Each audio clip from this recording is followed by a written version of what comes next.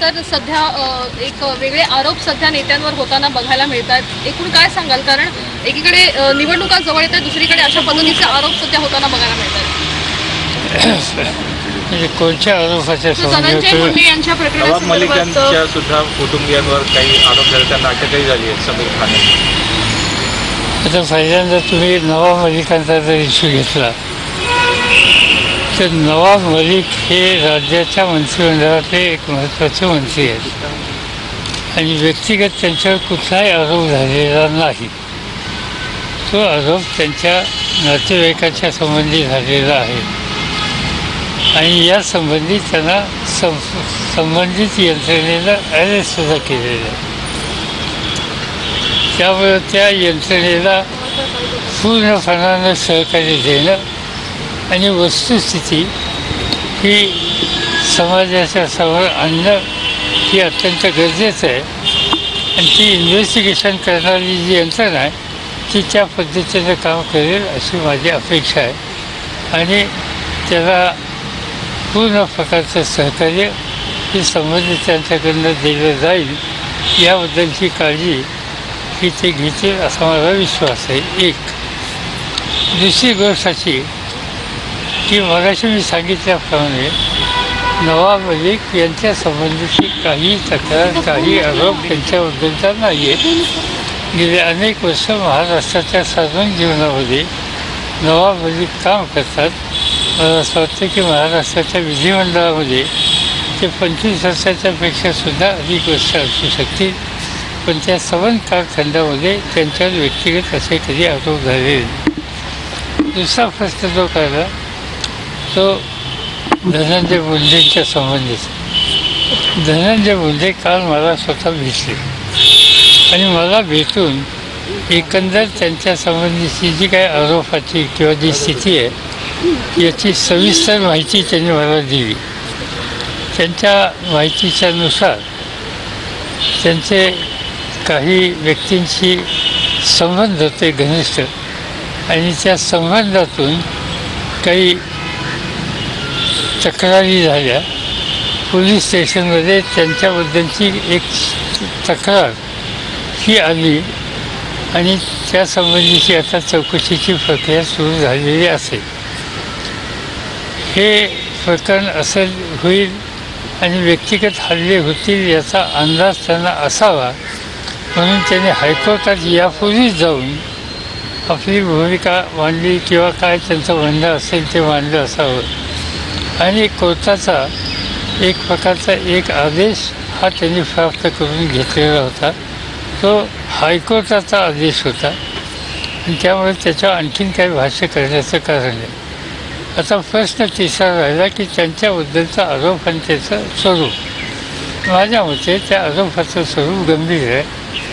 आणि साहजिकच यासंबंधीची काय विचारणे हा पक्ष म्हणून आम्हाला लोकांना करावा लागेल. आणि यासाठी मी पक्षाचे जे माझे प्रमुख सहकारी आहेत त्यांच्याशी माझं अद्याप काही बोलणं झालेलं नाही. पण या सगळ्यांना मी पूर्णपणानं विश्वासात घेणार आहे. त्यांच्याशी हा विषय सविस्तरपणानं मांडणार आहे. कारण माझ्यापुढं श्री मुंडे त्यांनी सखोल आणि सविस्तर माहिती माझ्यापुढे सादर केलेली आहे. तेव्हा माझं कर्तव्य आहे की त्यांनी सांगितलेली माहिती बाकीच्या सगळ्या सहकाऱ्यांना सांगणं आणि या संबंधीची त्यांची मतं लक्षात घेऊन पुढची पावलं टाकणं. आणि हे आम्ही लवकरात लवकर करण्याच्या विचारात आहोत. मला असं वाटत नाही की याला फारसा विलंब द्यावा लागून द्यावा. यासंबंधी कोर्टाचे काही निर्णय होतील पोलिसची इन्व्हेस्टिगेशन होईल त्या सगळ्या गोष्टीत मी करत नाही. पण पक्ष म्हणून आणि पक्ष प्रमुख म्हणून जी काही आम्हाला काळजी घ्यावी लागेल जी काही निर्णय घ्यावे लागतील त्याबद्दल आम्ही तातडीने निर्णय घेऊ. Sir your indicating action against mister Munde is that discuss with my colleague I be able to tell and I discuss the papers I mean, you are referring for examination or I am referring for examination.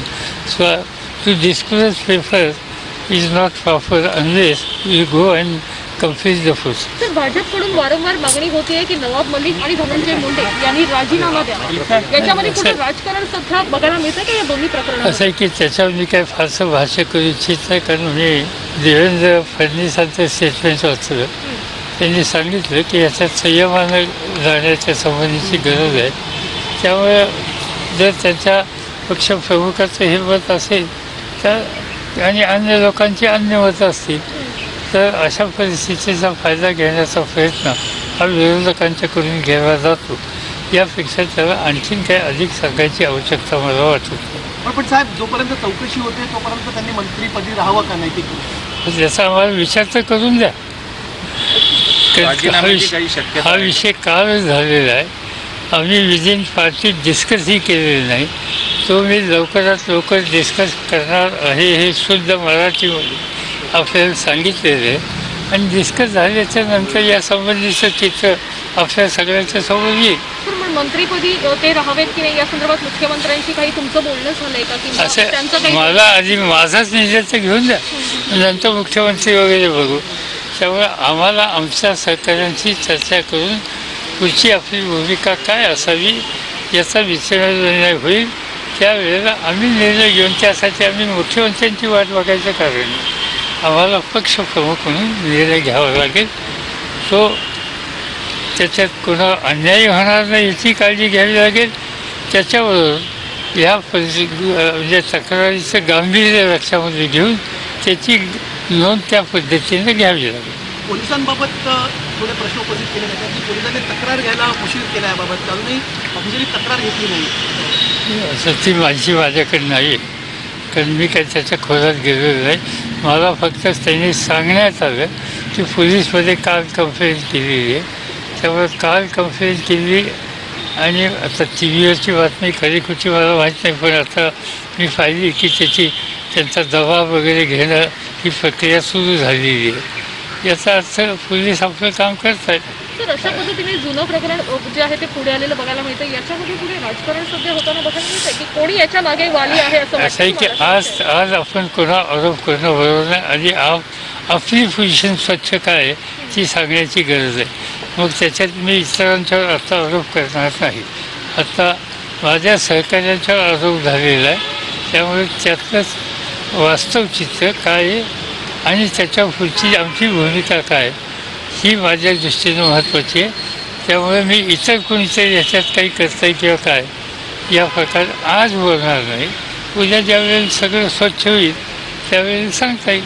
साहेब धनंजय मुंडेंनी तुमच्याकडे राजीनामा सोपवला यात कितपत तथ्य असं एक प्रकरण आहे. एक प्रकरण आहे की माहिती दडवली गेली माहिती सांगण्यात आली नाही ॲफिडेव्हिटमध्ये इलेक्शनचं हे एक प्रकरण आहे हे एक आरोप आहे. दुसरे आरोप जे गंभीर स्वरूपाचे आहेत बलात्कारासारखा गंभीर आरोप आहे. दोन्ही प्रकरणात त्यांना तिथे अडचण दिसते असं मी तुम्हाला सांगितलं ना की त्यांनी त्यांची भूमिका मला सांगितलेली.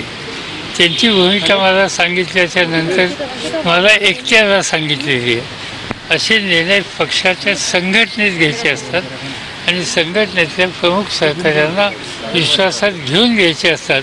आणि ती प्रक्रिया आम्ही लवकर करणार आहोत. भाऊसाहेब तुमच्याकडे धनंजय मुंडेंनी राजीनामा सोपवला अशी चर्चा आहे यात कितपत तथ्य आहे? माझ्या मला ही माहिती नाही म्हणजे हे माझ्या ज्ञानात भर टाकली तुम्ही. त्याबद्दल मी आपला आभारी आहे पण माझ्याकडे असं काय आलेलं नाही. Sahib, sir, Kerala media also here. I will finish How? I I come to Kerala I know that you are interested तुमचा हा विषय संपला आणखीन एका विषयामध्ये बोलायचा. बोला साहेब. बोला साहेब. आणि तो म्हणजे दिल्लीमध्ये सुरू असलेले शेतकरी आंदोलन. या आंदोलनामध्ये गेले जवळपास चोपन्न दिवस. दिल्लीच्या कडक थंडीमध्ये हजारोच्या संख्येनं आज शेतकरी सहकुटुंब त्या ठिकाणी बसलेले आहेत. आपण जर त्या ठिकाणी गेलात तर जवळपास पाच किलोमीटरच्या रस्त्यावर पूर्णपणानं तो रस्ता त्यांनी ऑक्युपाय केलेला आहे. आता या सगळ्या लोकांच्या संबंधीच्या काही मागण्या होत्या. सुप्रीम कोर्टाने शेवटी त्याची नोंद घेतली आणि सुप्रीम कोर्टाने एकंदर भारत सरकारने या प्रश्नाकडे ज्या पद्धतीनं पाहिलं त्याबद्दलची तीव्र नाराजी आपल्या ह्या प्रश्नाचा विचार मांडत असताना केली पण ती जी सुप्रीम कोर्टाने भूमिका घेतली त्याची नोंद घेतली त्याचं आम्ही स्वागत केलं परंतु सुप्रीम कोर्टाने या सगळ्या गोष्टीचा विचार करायला एक कमिटी नेमली त्या कमिटीचं कॉम्पोजिशन बघितल्याच्यानंतर त्यातील प्रत्येक व्यक्ती ही ज्या बिलांच्या संबंधीची तक्रार आहे त्या बिलांचं समर्थन किंवा त्या विचाराची आहे अशा प्रकारचं चित्र यापूर्वी आपल्याला कुठं ना कुठेतरी भाषणामधून लिखाणामधून मिळालेलं आहे. आणि त्यामुळं या समितीच्या संबंधीचा विश्वास हा तिथे बसलेल्या लोकांना अजिबात नाही आहे आणि त्यामुळं या समितीमधून काही निघेल असं त्यांना वाटत नाही आणि त्यांच्या मताशी मी सुद्धा सहमत आहे. आणि त्यामुळं मला असं वाटतं की या प्रश्नाचं गांभीर्य जर केंद्र सरकारने खऱ्याच घेतलेलं असेल तर इंडिपेंडंट म्हणजे इन ट्रू सेन्स इंडिपेंडंट अशा लोकांची नियुक्ती त्या ठिकाणी केली असती तर ते अधिक बरं झालं असतं. हा दुसरा प्रश्न. आणि तिसरा जो काय प्रश्न तुम्ही मला विचारला? आता इथं कोणतरी विचारलं? Kerala. You see, my colleague from Kerala had a meeting with me day before yesterday. And today also, Mr. Pitambar Master, who is our General Secretary, National General Secretary, and senior most leader from Kerala, and other colleagues also met. They have explained the ground level situation uh, so long. We will not take any decision without taking in conference our own colleagues and also left wing leaders. Tentatively, I was told the Vidhan Sabha session of the Kerala has begun and that will be over on 22nd or 23rd. I don't know the exact date. So uh, immediately after the last day of the Kerala session,